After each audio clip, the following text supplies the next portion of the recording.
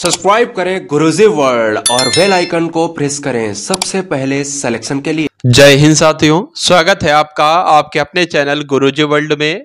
साथियों, आज इस क्लास के माध्यम से आप लोग 50 प्रश्नों का प्रैक्टिस सेट देखोगे और इस प्रैक्टिस सेट की मदद से आपको मालूम पड़ेगा कि कितनी तैयारी आपकी हो चुकी है और कितनी तैयारी अभी आपकी बाकी है। तो इन 50 प्रश्नों को मैं करवाने जा रहा हूँ। कम से कम आपका टारगेट जो होना चाहिए, आज 20 का आपका टारगेट होना चाहिए। चलिए तो पहला प्रश्न आपकी स्क्रीन पर है कि मत पत्रों को सबसे पहले किसने प्रयोग किया था? यानी कि जो मत पत्र जैसे कि जो चुनाव में वोट डालते हैं तो वोट डालने के लिए जो मत पत्रों का इस्तेमाल किया जाता है, साथियों मत पत्र उसको कहते हैं। तो मत पत्रों को सबसे पहले किसने प्रयोग किया था? प्राचीन यूनान ने, इंग्लैंड ने, ऑस्ट्रेलिया ने या यूएसए ने। तो आपको यहाँ पर ध्यान रखना है किसने प्रयोग किया था, प्राचीन यूनान के लोगों ने प्रयोग किया था, इसलिए जिनका आंसर ए है तो बिल्कुल करेक्ट है भाई, बहुत बढ़िया वेरी गुड क्लास अब उसके बाद देखिए, अल्पसंख्यकों के लिए राष्ट्रीय आयोग किस वर्ष में बनाया गया था? यानी कि राष्ट्रीय आयोग जो अल्पसंख्यकों के लिए जो बनाया गया था, वो 1980 में बनाया गया था, उन्नीस सौ नवासी में, उन्नीस सौ नब्बे में या उन्नीस सौ बानवे में? तो आपको यहाँ पर ध्यान रखना है, कब बनाया गया था? उन्नीस सौ बानवे में बनाया गया था। इसलिए आंसर आपका जो जाता है, वो ऑप्शन नंबर डी के साथ जाएगा। अब उसके बाद देखिए, राष्ट्रमंडल का महासचिव चुना जाने वाला पहला भारतीय कौन था? साथियों, ये मोस्ट इंपॉर्टेंट प्रश्न आपकी स्क्रीन पर है। स्टार लगाकर इस प्रश्न को आप लोग राइट करेंगे। तो राष्ट्रमंडल का महासचिव चुनाव, चुना जाने वाले पहले व्यक्ति कृष्णमूर्ति थे, कमलेश शर्मा थे, राकेश शर्मा थे या गोपाल स्वामी थे।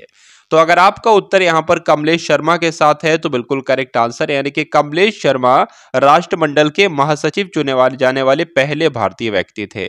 अब उसके बाद देखिए श्री कृष्ण समिति रिपोर्ट किससे संबंधित है?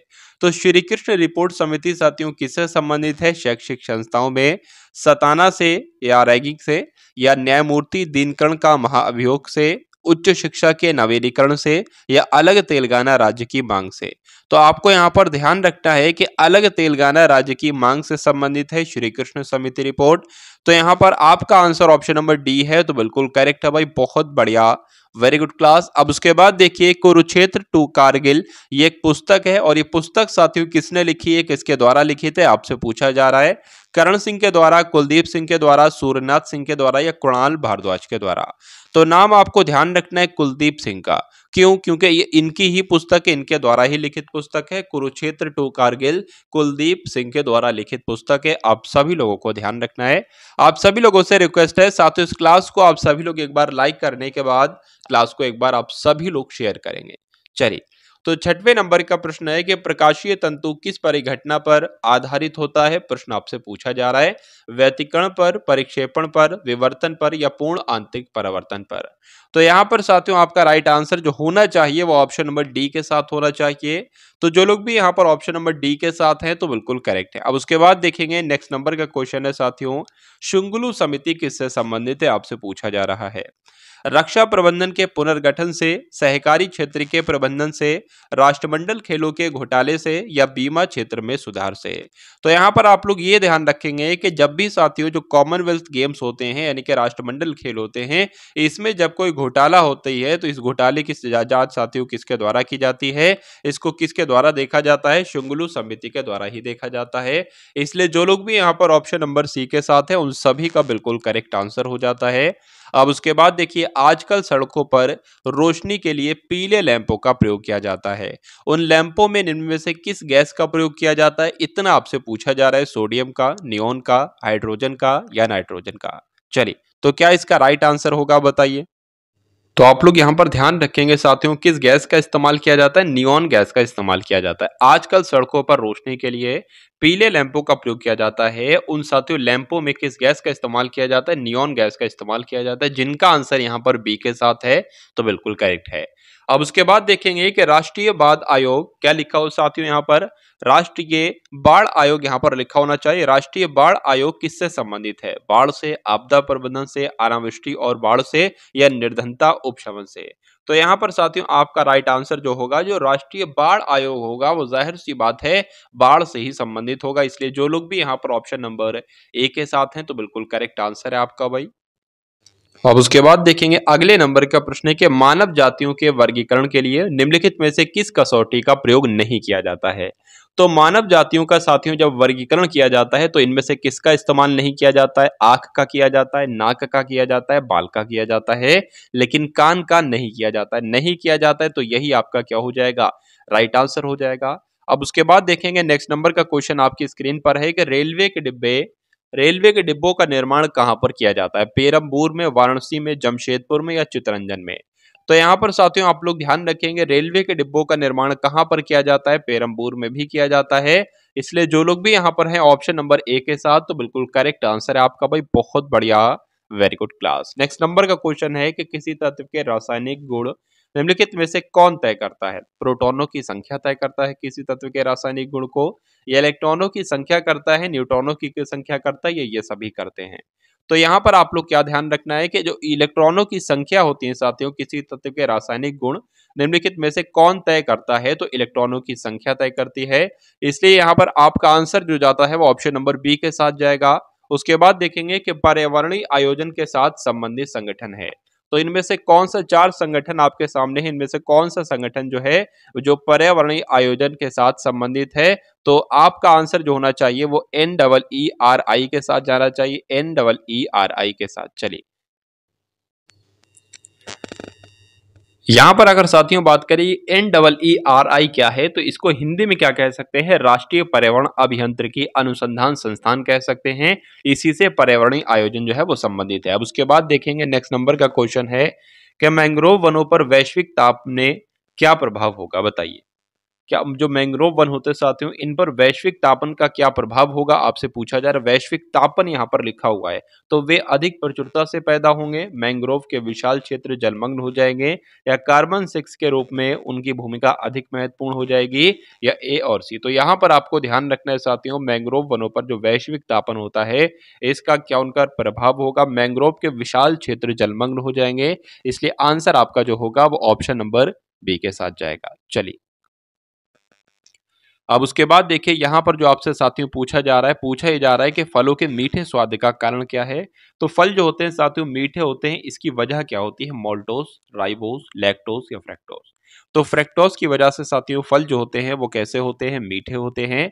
आंसर आपका जो जाता है यहाँ पर, वो ऑप्शन नंबर डी के साथ जाएगा। उसके बाद देखिए, विलोपन की कगार पर सबसे ज़्यादा संकटापत्र एशिया का शीर्ष परभक्षी है, साइबेरिया बाग, ढोल, काला भालू या एशियाई शेर।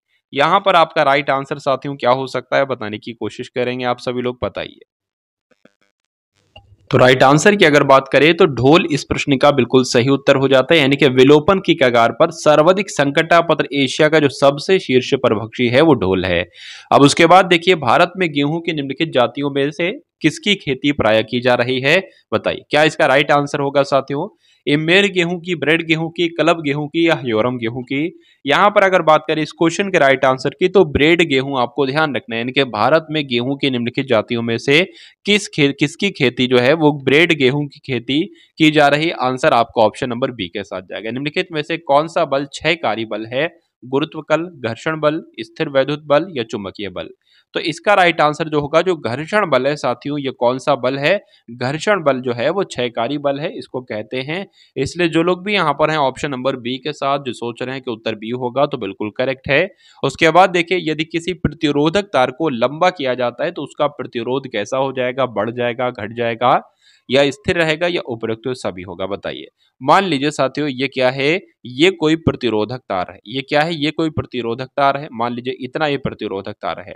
अब हमने इसको साथियों खींचकर क्या कर दिया? हमने इसको खींचकर इतना कर दिया तो इसके अंदर जो ज़्यादा प्रतिरोध था, अब वो लंबे में फैल जाएगा। इसलिए कहा जा सकता है कि जो प्रतिरोध होगा, वो साथियों कैसा हो जाएगा, कम हो जाएगा, यानी कि घट जाएगा। इसलिए आंसर आपका ऑप्शन नंबर बी के साथ जाएगा। ल्यूमेन ल्यूमेन जो है वो एकक है, किसका आपसे पूछा जा रहा है? ज्योति फ्लक्स का, ज्योति तीव्रता का, प्रदीप्त घनत्व का या चमक का? यानी कि आपको ये बताना है कि किसका मात्रक होता है साथियों? तो ज्योति फ्लक्स का मात्रक क्या होता है? ल्यूमेन होता है। इसलिए आंसर आपका, जिनका भी ऑप्शन नंबर ए के साथ है तो बिल्कुल करेक्ट आंसर है आपका भाई। बहुत बढ़िया, वेरी गुड क्लास। उसके बाद देखिए, जहाज़ की चाल मापी जाती है। किसमें मापी जाती है? हॉर्स पावर में एंगस्ट्रॉम में, जूल में या नॉट में? तो अगर ये प्रश्न आपसे परीक्षा में पूछा जाए कि जहाज़ की चाल किसमें मापी जाती है, बताइए। तो आपका आंसर जो होना चाहिए, वो नॉट के साथ आपका आंसर जाना चाहिए। उसके बाद देखिए, अगले नंबर का प्रश्न आपकी स्क्रीन पर है। पूछा जा रहा है कि कार और पेट्रोल है, बताइए। आवश्यकताएँ हैं हमारी, विलास वस्तुएँ हैं, पूरक हैं, स्थानापन्न हैं। देखिए, अगर हमने बात करें तो जैसे कि जो हमारी कार है और पेट्रोल है, इनका प्रयोग हम कब करते हैं? तो किसी भी उद्देश्य को पूरा करने के लिए करते हैं। मान लीजिए हमें कहीं स्थान से किसी स्थान पर जाना होता है तो हमें हमारा वो उद्देश्य होता है उस उद्देश्य की पूर्ति के लिए हम कार और पेट्रोल का इस्तेमाल करते हैं। तो ऐसी वस्तुएँ साथियों क्या कहलाई जाती हैं, जिनका हम किसी उद्देश्य से इस्तेमाल करते हैं, पूरक वस्तुएँ कहलाई जाती हैं। तो जो लोग भी यहाँ पर हैं ऑप्शन नंबर सी के साथ उन सभी का बिल्कुल करेक्ट आंसर है। अब उसके बाद देखिए नेक्स्ट नंबर का क्वेश्चन है कि अंतर राज्य व्यापार पर रोक लगाने के लिए कौन प्राधिकृत है राष्ट्रपति, वित्त मंत्री, संसद या राज्य विधायिका? यहाँ पर राष्ट्रीय आंसर अगर बात करें, क्या होगा राइट आंसर तो राज्य विधायिका इस प्रश्न का बिल्कुल सही उत्तर है। अंतर राज्य व्यापार करने के लिए, कर लगाने के लिए कौन प्राधिकृत है? तो राज्य विधायिका प्राधिकृत है, आपको ध्यान रखना है। अंतर्राष्ट्रीय चावल अनुसंधान संस्थान, ये कहाँ पर स्थित है? मनीला में, ढाका में, कटक में या बैंकॉक में? तो अंतर्राष्ट्रीय चावल अनुसंधान संस्थान साथियों, फिलीपींस की राजधानी मनीला में स्थित है। इसलिए जो लोग भी यहाँ पर हैं ऑप्शन नंबर ए के साथ तो बिल्कुल करेक्ट आंसर है आपका। अब उसके बाद देखिए अगले नंबर का प्रश्न, कि रबर को वल्कनित करने के लिए प्रयुक्त तत्व है। यानी कि रबर को जब वल्कनित करते हैं तो किस तत्व का प्रयोग किया जाता है? सल्फ़र का ब्रोमीन का सिलिकॉन का या फॉस्फोरस का? तो किसका इस्तेमाल किया जाता है साथियों? सल्फ़र का इस्तेमाल किया जाता है। आपको ध्यान रखना है। आंसर आपका जो जाएगा वो ऑप्शन नंबर ए के साथ जाएगा। उसके बाद देखिए कि निम्नलिखित में से कौन सा नियत लागत के संगत है? परिवहन व्यय, संपत्ति पर बीमा प्रीमियम, कच्ची सामग्री के लिए भुगतान या श्रम लागत। यहाँ पर आपका राइट आंसर क्या होगा साथियों? कौन सा नियत लागत के संगत है? तो संपत्ति पर बीमा प्रीमियम नियत लागत के संगत है, आपको ध्यान रखना है। जब किसी पिंड को उसके उदासीन संतुलन की स्थिति से बाधित किया जाए तो उसकी स्थितिज ऊर्जा को क्या कहा जाएगा? चलिए तो उसकी स्थिति ऊर्जा कम हो जाएगी, बढ़ जाएगी, शून्य हो जाएगी या स्थिर रहती। तो उसकी स्थिति ऊर्जा साथियों, स्थिर रहती है जब किसी पिंड को उसके उदासीन संतुलन की स्थिति से बाधित किया जाए तो उसकी स्थिति ऊर्जा जो है वो स्थिर रहती है, आपको ध्यान रखना है। उसके बाद देखिए, म्यांमार की राजधानी आपसे साथियों पूछी जा रही है, मूलमीन है नेपियोडोव है, यानगोन है या मांडले है। यहाँ पर साथियों, आपका राइट आंसर क्या हो सकता है? आपको ध्यान रखना है नेपिडो भी कहीं कहीं पर लिखा होता है नेपियोडोव भी कहीं पर लिखा होता है तो म्यांमार की राजधानी क्या हो जाएगी? ऑप्शन नंबर बी में जो लिखी हुई है नेपियोडोव उसके बाद देखेंगे अगले नंबर का क्वेश्चन क्वेश्चन जो आपकी स्क्रीन पर है, बताने की कोशिश करेंगे। मध्य रेलवे का मुख्यालय आपसे यहाँ पर पूछा जा रहा है, कहाँ पर स्थित है? मुंबई में, जयपुर में, नागपुर में या विजयवाड़ा में? तो देखिए अगर मध्य मध्य रेलवे की बात चले तो मध्य रेलवे का मुख्यालय कहाँ पर स्थित है? तो मुंबई में स्थित है, ये बात आपको ध्यान रखना है। आंसर आपका किस ऑप्शन के साथ जाएगा? ऑप्शन नंबर ए के साथ जाएगा। उसके बाद देखिए, कपास के उत्पादन के लिए निम्नलिखित में से कौन सी मिट्टी का इस्तेमाल सबसे उपयुक्त माना जाता है? कंकर मिट्टी का, रेगुण मिट्टी का, रेगुण मिट्टी का या भंगर मिट्टी का या खदर मिट्टी का? तो किसका साथियों, रेगुण मिट्टी का माना जाता है? सबसे उपयुक्त मिट्टी मानी जाती है। ये किसके लिए? कपास के लिए। ये बात आपको ध्यान रखना है। आंसर आपका जो जाएगा वो ऑप्शन नंबर बी के साथ जाएगा। उसके बाद देखिए अगले नंबर का प्रश्न है कि पहली बौद्ध परिषद कहाँ पर हुई थी? आपसे पूछा जा रहा है पाटलिपुत्र में कुंडल वन में, राजगृह में या वैशाली में? बताइए। तो राजगृह में हुई थी ये बात आपको ध्यान रखने। जिनका भी आंसर यहाँ पर है, ऑप्शन नंबर सी के साथ तो बिल्कुल करेक्ट आंसर है। अब उसके बाद देखिए कि ईस्ट इंडिया कंपनी, यानी कि कब ईस्ट इंडिया कंपनी द्वारा निर्मित पहला किला फोर्ट सेंट जॉर्ज, यानी कि मद्रास में है। तो साथ ही जो मद्रास में है जो पहला किला फोर्ट सेंट जॉर्ज है, ये ईस्ट इंडिया कंपनी के द्वारा साथियों कब निर्मित किया गया था? सोलह में, पंद्रह में, सत्रह में, अठारह में। तो कब किया गया था? अगर ये प्रश्न आपसे पूछा जाए तो सोलह इस क्वेश्चन का बिल्कुल करेक्ट आंसर हो जाएगा। यहाँ पर आपको ध्यान रखना है। उसके बाद देखिए, हरे और स्वच्छ उत्पादन का लक्ष्य क्या है? जैव पीड़कनाशी, अपशिष्ट, न्यूनतमीकरण, कृषि उत्पादकता या वनरोपण? बताइए। क्या होगा इस प्रश्न का? बिल्कुल सही उत्तर बताने की कोशिश करेंगे। तो अगर आपने क्लास को साथियों लाइक ना किया हो, क्लास को शेयर ना किया हो तो क्लास को लाइक करके एक बार क्लास को शेयर ज़रूर करेंगे। यहाँ पर अगर बात करें, हरे और स्वच्छ उत्पादन का लक्ष्य यह है कि कृषि की उत्पादकता की जाए। यानी कि आंसर आपका ऑप्शन नंबर सी के साथ जाएगा और जिनका आंसर सी है तो बिल्कुल करेक्ट है। अब उसके बाद देखिए कि नई अखिल भारतीय सेवाएँ बनाने के लिए सक्षम प्राधिकारी कौन है? लोकसभा है, संघ लोक सेवा आयोग है, संसद है या राज्यसभा है? तो नई अखिल भारतीय सेवाएँ बनाने के लिए साथियों, कौन जिम्मेदार है, कौन प्राधिकारी है? तो राज्यसभा साथियों, सक्षम प्राधिकारी है। उसके बाद देखिए कि भारतीय संविधान के निम्नलिखित में से किस अनुच्छेद में गाँव में पंचायतें स्थापित करने का प्रावधान है? अनुच्छेद इकतालीस, अनुच्छेद अड़तीस, अनुच्छेद चालीस या अनुच्छेद उनतालीस? तो यहाँ पर साथियों, बात करें इस प्रश्न का, बिल्कुल सही उत्तर आपका जो होगा, वो अनुच्छेद चालीस के साथ जाएगा। यानी कि आपको यहाँ पर ध्यान रखना है कि कौन से अनुच्छेद के तहत तो अनुच्छेद चालीस के तहत गाँव में पंचायती स्थापित करने का प्रावधान है। तो जो लोग भी यहाँ पर ऑप्शन नंबर सी के साथ हैं, बिल्कुल करेक्ट आंसर है आपका भाई। बहुत बढ़िया वेरी गुड क्लास अब उसके बाद देखेंगे कि प्रकाश सीधी रेखा में चलता हुआ प्रतीत होता है। ये क्यों प्रतीत होता है ऐसा? क्योंकि उसका तरंग दैर्ध्य बहुत छोटा होता है या उसका वेग बहुत तेज होता है या ये वह वायुमंडल द्वारा अवशोषित नहीं किया जाता या वह वायुमंडल द्वारा परिवर्तित किया जाता है। तो बात करें, अगर इस प्रश्न का सही उत्तर की तो उसका तरंग दैर्ध्य बहुत छोटा होता है, इसलिए प्रकाश जो है वो सीधी रेखा में चलता हुआ प्रतीत होता है। इंपॉर्टेंट क्वेश्चन था। उनतालीसवें नंबर का प्रश्न आपके स्क्रीन पर है। यहाँ पर आपको साथियों बताना है क्या होगा इस क्वेश्चन का राइट आंसर कि मद्रास किस दुर्ग के साथ संबंधित है, सेंट जॉर्ज दुर्ग के साथ, विलियम दुर्ग के साथ, सेंट डेविड दुर्ग के साथ या सेंट जॉन दुर्ग के साथ। साथियों, इस क्लास में हमने किस प्रकार के प्रश्नों का समावेशन किया है, मैं आपको दोबारा से बता देता हूँ। तीन प्रकार के प्रश्न है, सिंपल भी हैं, मॉडरेट भी हैं, हार्ड भी हैं। तो आपको साथियों, इन क्लासेस के माध्यम से, मॉक टेस्ट के माध्यम से ये बताया जा रहा है कि आप साथियों कितने तैयार हो चुके हो। यानी कि परीक्षा में देखिए तीनों प्रकार के प्रश्न आपसे पूछे जाएँगे। तो अगर इस प्रकार का प्रश्न पत्र यानी कि इस प्रकार के क्वेश्चंस आपके सामने आ जाते हैं तो कितने क्वेश्चन आप लोग बिल्कुल करेक्ट कर पाते हो? पचास में से बीस का टारगेट आपको साथियों होना चाहिए। कम से कम पचास में से बीस का। चलिए। मद्रास किस दुर्ग के साथ संबंधित है। प्रश्न आपसे पूछा जा रहा है तो सेंट जॉर्ज दुर्ग के साथ संबंधित है मद्रास, ये आपको ध्यान रखना है। इसलिए आंसर यहाँ पर जिनका भी है, ऑप्शन नंबर ए तो बिल्कुल करेक्ट आंसर है। अब उसके बाद देखिए कि वाराणसी और कन्याकुमारी को जोड़ने वाला सबसे लंबा राष्ट्रीय राजमार्ग कौन सा है? तो national highway seven, national highway ten या नेशनल हाईवे सेवनटीन या नेशनल हाईवे फोर्टीन। तो यहाँ पर आपको ध्यान रखना है कि वाराणसी और कन्याकुमारी को जोड़ने वाला जो साथियों सबसे लंबा राष्ट्रीय राजमार्ग है है, वो नेशनल राष्ट्रीय राजमार्ग सात है, ये बात आपको ध्यान रखना है। तो जो लोग भी यहाँ हैं ऑप्शन नंबर ए के साथ तो बिल्कुल करेक्ट आंसर है आपका। अब उसके बाद देखिए कि भारत के राष्ट्रपति के आपातकालीन अधिकार कहाँ के संविधान से लिए गए हैं? आयरिश के, जर्मनी के जर्मनी के विमार गणतंत्र से या ऑस्ट्रेलिया से या कनाडा से? जो राष्ट्रपति का आपातकालीन अधिकार है, यानी कि राष्ट्रपति के राष्ट्रपति आपातकाल लगा सकते हैं तो ये साथियों किस देश के संविधान से लिया गया है? ये जर्मनी के संविधान से लिया गया है। ये बात आपको ध्यान रखना है। आंसर आपका जो जाएगा, वो ऑप्शन नंबर बी के साथ जाएगा। अब उसके बाद देखिए कि स्पिरिट शीट अणु प्रयोग की पहचाने हैं, यानी कि स्पिरिट शीट अणु प्रयोग को पहचाने। यहाँ पर आपका साथियों राइट आंसर क्या होगा? स्पिरिट शीट बताइए। तो कहाँ पर इस्तेमाल होता है साथियों स्प्रेडशीट? आपने यहाँ पर देखा होगा, आपने कंप्यूटर में देखा होगा, एक्सेल में। अगर बात करें इस प्रकार के, आपको यहाँ पर थोड़ा सा टेढ़ा खींच रहा है। लेकिन कोई दिक्कत नहीं। आपको समझाने के लिए मैं आपको बता रहा हूँ। देखिए, यहाँ पर आपको कई सारे सेल नज़र आ रहे होंगे। जैसे कि सेल वन है, सेल टू है, सेल थ्री है, सेल फोर है, सेल फाइव है, सेल सिक्स है, सेल सेवन है। इस प्रकार के सेल जो होते हैं, ये साथियों, अगर बात करें, ये कहाँ पर आपको दिखाई देते हैं? ये एम एस में आपको दिखाई देते हैं और इसको ही क्या कहा जाता है? स्प्रेड शीट कहा जाता है। तो स्प्रेड शीट अणु का प्रयोग को पहचाने, यानी कि कहाँ पर इसका प्रयोग किया जाता है? तो एम एस में इसका प्रयोग किया जाता है। ये बात आपको ध्यान रखना है। अब उसके बाद देखिए अगले नंबर का प्रश्न, के निम्नलिखित में से कौन सा अब भारत में मूल अधिकार नहीं है, यह आपसे पूछा जा रहा है, बताइए।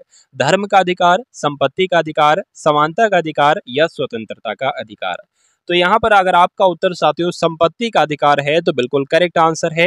यानी कि आप संपत्ति का अधिकार जो है, ये भारत में मूल अधिकार, मौलिक अधिकार नहीं रहा है, ये बात आपको ध्यान रखना है।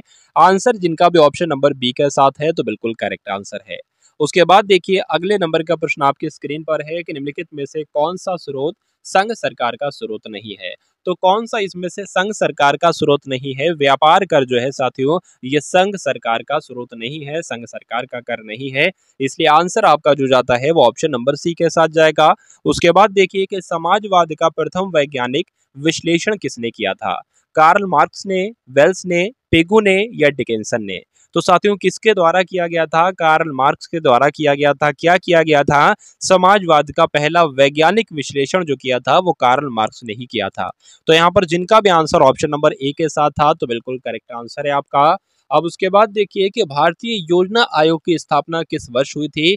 कई बार ये परीक्षा साथियों में परीक्षा में भी आपसे पूछा जा चुका है और कई बार इस क्वेश्चन को मैं भी करवा चुका हूँ।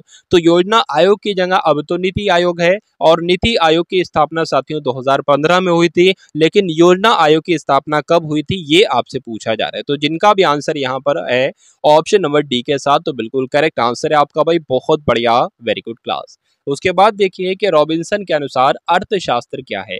तो अर्थशास्त्र क्या एक आदर्श विज्ञान है या एक मानकीय विज्ञान है या सकारात्मक विज्ञान है या मानकीय और सकारात्मक विज्ञान दोनों है या कला और विज्ञान दोनों है? ये प्रश्न आपसे साथियों पूछा जा रहा है। बताने की कोशिश कीजिए। तो आंसर आपका किस ऑप्शन के साथ जाएगा? देखिए, जिनका भी आंसर डी है तो सही नहीं है। आंसर आपका जो सही होगा वो ऑप्शन नंबर सी होगा। यानी कि अर्थशास्त्र को कला और विज्ञान किसने कहा है? मार्शल ने कहा है। अर्थशास्त्र को कला और विज्ञान किसने कहा है? तो मार्शल ने कहा है। लेकिन रॉबिन्सन की अगर बात करें तो इसने अर्थशास्त्र को मानकीय और सकारात्मक विज्ञान कहा है। इसलिए जो लोग जिनका आंसर सी के साथ था तो बिल्कुल करेक्ट था। अब उसके बाद देखिए कि एम के गांधी द्वारा लिखी गई पहली पुस्तक कौन थी? यानी कि महात्मा गांधी जी के द्वारा लिखी गई पहली पुस्तक कौन सी थी? माई एक्सपेरिमेंट्स विद ट्रुथ या Hind Swaraj, India of my dreams या टी यानी कि की टू हेल्थ। यहाँ पर आपका राइट आंसर की अगर बात करें तो माई एक्सपेरिमेंट्स विद ट्रूथ के साथ जाएगा, यानी कि महात्मा गांधी द्वारा लिखी गई पहली पुस्तक जो थी, वो साथियों कौन सी थी, जो ऑप्शन नंबर ए में लिखी हुई है। जिनका भी आंसर ए है तो बिल्कुल करेक्ट है भाई, बहुत बढ़िया वेरी गुड क्लास उसके बाद देखिए, कनिष्ठ प्रथम किसका पृष्ठ पोषक था? आपसे यहाँ पर साथियों प्रश्न पूछा जा रहा है, बताइए। यानी कि कनिष्ठ प्रथम जो था साथियों पृष्ठ पृष्ठपोषक को पृष्ठपोषक को हम लोग कह सकते हैं सहायक। तो ये किसका सहायक था? आपको ध्यान रखना है, महायान बुद्धवाद का सहायक था, इसलिए आंसर आपका जो जाएगा, वो ऑप्शन नंबर ए के साथ जाएगा। उसके बाद देखिए, अगले नंबर का प्रश्न आपकी स्क्रीन पर है कि निम्नलिखित में से, यानी कि भारत के निम्नलिखित में से किस शहर को कभी भी सूरज की ऊर्ध्वाधर किरणें नहीं मिलती हैं? तो साथियों, किसको नहीं मिलती है? ये प्रश्न आपसे पूछा जा रहा है। तो आज की क्लास का अंतिम आखिरी प्रश्न आपकी स्क्रीन पर है और आपको कमेंट सेक्शन में देना है, इसका जवाब क्या होगा साथियों? तो प्रश्न आपके लिए ये होमवर्क के लिए रहा। तो साथियों, यहाँ पर सामान्य ज्ञान के इन पचास प्रश्नों को हमने देखा जो बहुत ही महत्वपूर्ण थे आपकी परीक्षा के लिए।